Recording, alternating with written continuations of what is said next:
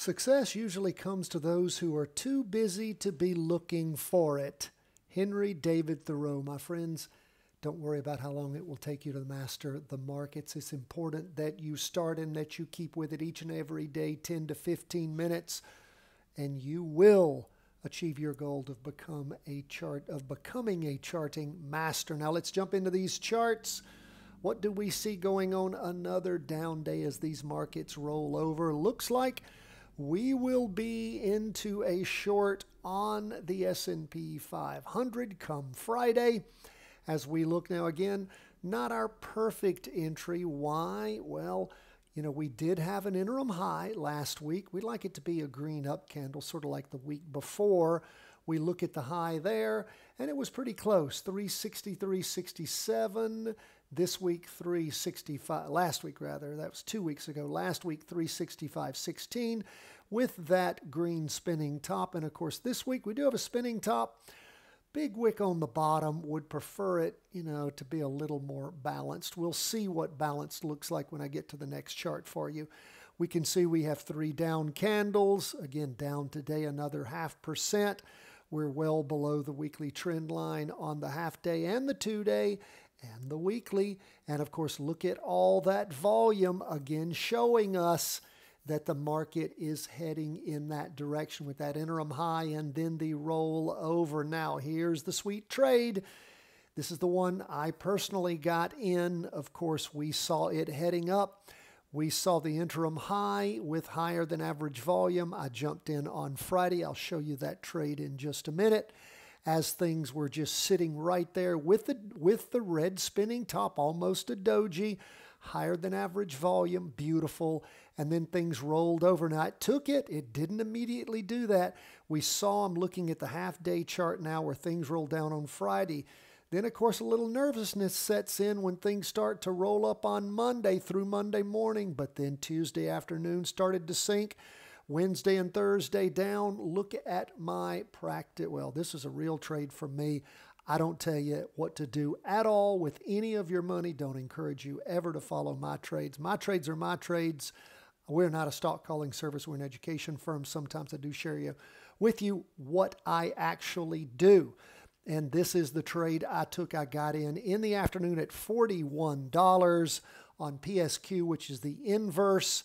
And what happened? Well, things rolled over that next day, and we saw where things went down on Monday, down on Tuesday morning, and then things started to turn around Tuesday afternoon, zoomed up on Wednesday, further up on Thursday, actually sold me out in the morning half of my trade gone, a 2.76% increase. The rest of it I have left to ride the market. Hopefully, it will go further. If it doesn't, starts to roll back on me, I can always get out of the trade before I get into the red column.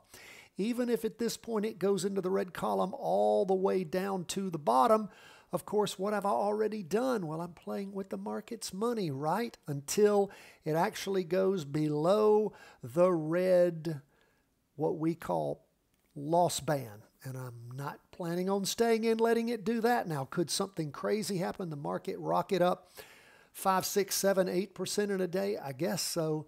If it does, okay. Well, still, I didn't lose anything. But right now, I'm 2.76% up in a matter of what, four days?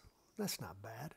And I'm going to let the rest of that ride and we will continue to keep an eye on it. Now, this is again the classic setup that we talk about over and over. If you haven't taken our training on inverse funds, how to make money when markets crash, then look at your email yesterday that I sent you because I actually shared that with you. I wanted you to have it. Please make sure each and every day you are looking at the trainings that are coming in. If you're not if you're not receiving our trainings, means you're not signed up for free at chartingwealth.com getting our email, which you can cancel at any time. That list is never spammed, never shared. Please go to chartingwealth.com, sign up. You'll get the trainings each and every day. Plus, you'll get these valuable videos. So things are going in the right direction for my Q's trade as things have rolled over going down quite nicely. We will continue to monitor this as we move throughout the week. Let's go on to 20 year U.S. government bonds, they are up a little bit for the day. Now, what do we see happening? We're right up here, almost at the, aver- at the average volume on the weekly chart. We are below the weekly trend line on the two day and the half day. You can see where things were up a little bit for the day, 0.82%. We're paying close attention because we have the interim high uh, last week. Now, we did we get a higher high over here? See what this high was going all the back week of June the 10th. That was $94.54. Things then $94.30. Then they rolled back over. They went up again 94.14, 94.40. And then this week, and look, we average volume last week, average volume this week with a red doji. I'm going to be very interested in what's happening in TLT tomorrow because I might be looking to enter a short play in TBF. Not feeling super strong about it, but what is it? It is the inverse of, it's the short of the 20 year US government bonds. It's the opposite of TLT. It goes in the opposite direction. Those who don't know a lot about inverse funds, please read about it. Please take our training. We tell you what they're about. There are potential problems with them. They're typically reset on a daily basis. They higher than normal fees because they are actively managed. Can you imagine? You've got to literally do what it takes as the fund manager to make sure that it matches in the inverse what's going on with the the long fund that it is the opposite of. So do think about it and the best way to understand them is to do what? Practice trade them. Doesn't cost you anything to practice trade. So think about it and typically these funds, particularly now that the markets have been going up, Let's see what TBF is a share. Okay, yeah, you could buy four shares for a hundred, less than a hundred dollars. And again, you could practice trade. Something for you to think about. Now, again, that's if indeed you've paper traded long enough to think about fractional trading. Just something that again helps you along your way as you start gaining mastery. If you lose 20% of $100, that's 20 bucks. If you lose 20% of $100,000, you're not going to be trading a whole lot longer. So please, please don't be foolish.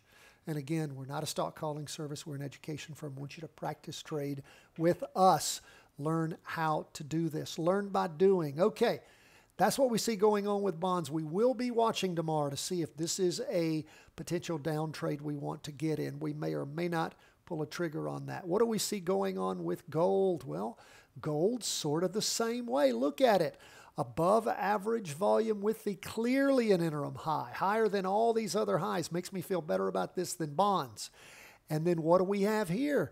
We have a red spinning top, almost a doji with average volume. What does that typically tell us? We have a whole lot of people buying, a whole lot of people selling after we've hit an interim high tells me that we might be looking for gold to go down. Now, I love to sort of double check with gold and look at GDX, which is the gold miners. What's going on with the people that own the mines? Something fairly similar. It's hit a top, sitting right there on the edge, right on the trend line, maybe getting to roll over. Not going to be looking to short GDX. Why? Well, of course, because GDX is not up to average volume. Could be by tomorrow, though. So, again, pay attention. Remember, there is no decent inverse fund in gold. There's GDX. No, no, I'm sorry. Uh, GDZ. No, D, sorry, DGZ. Delta Golf Zulu. DGZ. That is the single short for gold. Problem with it is it's not very liquid means the bid and the ask are a big spread, and you got to make up a lot to just break even. So, if you're a Patreon member, you of course have had access since you joined. The first email you get is Options Made Simple the Charting Wealth Way. You could be practice trading options in gold. Not difficult to do if you have that base knowledge which we give all of our Patreon members at any of the three levels. If you just become a Patreon supporter, you'll get that three part training, all you need to get started in practice trading options. And again, loads of fun, lots of challenges there. You will find that training fabulous. So think about becoming a Patreon supporter. You underwrite the work we do here for free for you. each and every day. And all the rest of you, thank your Patreon supporters, for helping us be able to bear the expenses to produce all of this for you on an ongoing daily basis for free. Gold back pulling back 156 1.56% for the day. So a big down day in gold. In fact, our biggest downer. So again, we might be shorting gold by the end of the week. And lastly, we will go to HODL. What's going on with Bitcoin? Bitcoin pulling back 1.45%. Again, getting near that weekly trend line on the half day chart, two day chart. We've got a doji there representing Thursday and Friday. Lots of indecision as we look at it. And again, as we look at where we are this week on the weekly candle, which is our most important candle, we can see we had above average volume this week. We're not there even to average volume yet this week. We do see that the high this week, 77.30, last week, 76.42. So we have hit a higher high. Hopefully, Bitcoin will just keep trudging as again, it's moved up four, slid sideways and down, up four, slid sideways and down. Is it going to take off again or is it going to blow off steam? We'll wait We'll watch, we'll see. By the way, Patreon members, we will be sending you your weekly vertical crossovers today. We also have already uploaded at the Patreon site where we upload the weekly vertical crossovers too. Also send them out to you in email.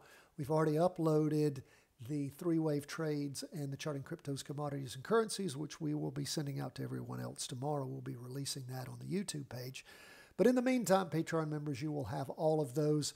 Everything we send out in the email, you always get at the Patreon page too. So, in case for some reason you don't see the email, everything's at the Patreon page, which you have total access to. Again, my friends, thank you so much, all of you, for being with us. Special thanks to our Patreon supporters. God bless my friends. All the best from the whole team at Charting Wealth World headquarters. Enjoy these charts. I love it. It is so much fun. God bless.